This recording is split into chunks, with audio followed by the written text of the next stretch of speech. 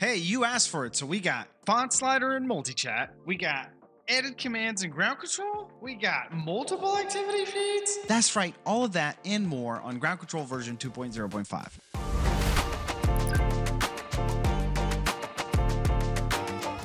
Changing the size of the font in multi-chat was requested by so many users, so now our devs have built it. So just click on the options icon in the multi-chat window and adjust font size until it's just perfect. Next, you wanted to edit commands without having to leave ground control, so now you can. Just hit this little edit icon and do all your edits right here without going anywhere else. Just remember to hit save when you're done. Next, for those of you multi-streaming, we salute you, but we also made it so that you can now have multiple activity feeds. If, for example, you're streaming on Twitch and YouTube and you want to have an activity feed just for Twitch and one activity feed just for YouTube, you can do it. All you have to do is pull up two activity feeds and then use the filtering options within each one to only show what you want.